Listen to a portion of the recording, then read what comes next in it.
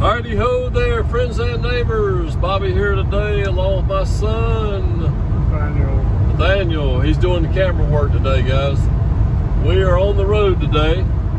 We're headed to a little town called Waxhaw, where our machinist is that done the work on the uh, Ford Ranger engine. And talked to the guy today. He said the engine's ready. So we're gonna ride down there and pick it up. This will be the first time Nathaniel visits a machine shop, and uh, it ought to be an experience for, for him.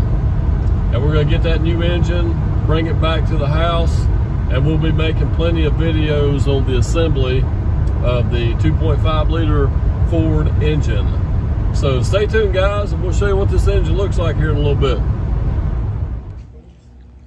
All right guys, we're back home now from the machine shop. We got all our parts there. We got our cylinder head here. Uh, they cleaned it. Actually, uh, had to get a core head for this thing. The thing had uh, some cracks in the combustion chamber. And so we got our core head with our cam. We got brand new lifters and everything here, brand new cam bearings. Here's our block. It got bore 20. It's wrapped up in some plastic. Here's all our parts. We got all our parts that we need. New oil pump, lots of new goodies down here. We got our pistons and rods right here.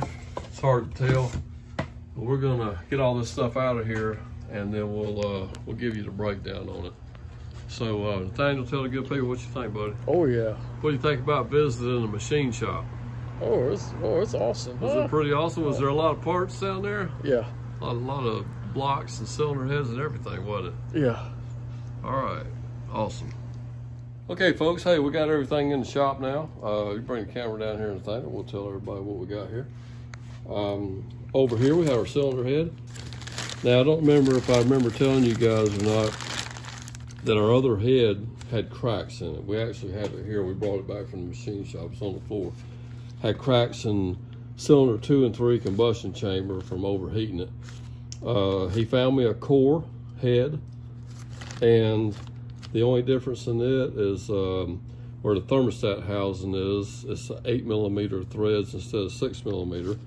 But uh, we're gonna do a um, like a helicoil repair on that to um, make those where six millimeter. Or I guess we could buy a new thermostat housing. But regardless, we're gonna deal with it.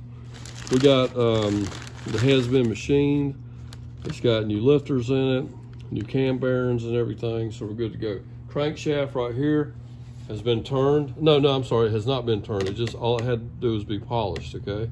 So it's been polished, ready to go. Uh, we got new pistons. It was bored 20 over, okay?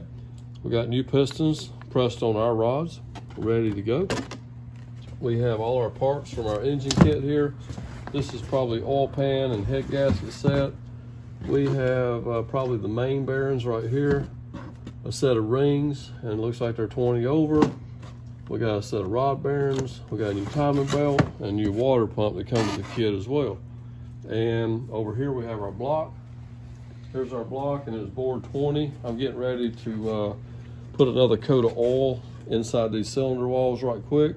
While we're out here, I'll tell you what, thing, if you'll back up just a minute, we'll show the good folks uh, what we're doing here. We're just gonna take a clean rag and there's a little bit of motor oil left in this uh, container right here that we had left over from some oil change.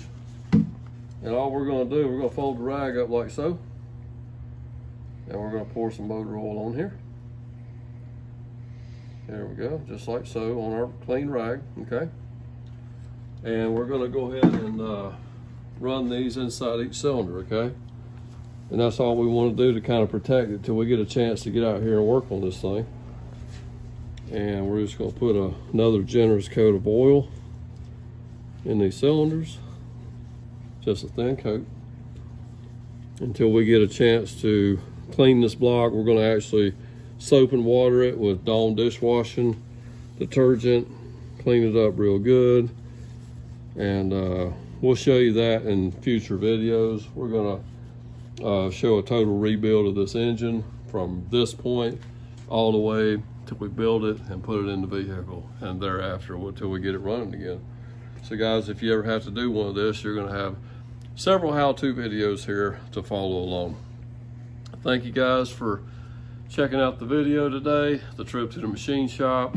Um, it was a long trip down to the little town of Waxhaw from where we are. But what did you think, Nathaniel? Did you pretty cool? Yeah. Yeah, pretty cool place. Guy, they do a lot of race car engines and stuff, and they had small block Chevy heads laying everywhere, big block Chevy stuff, and we even saw some Chrysler stuff there as well.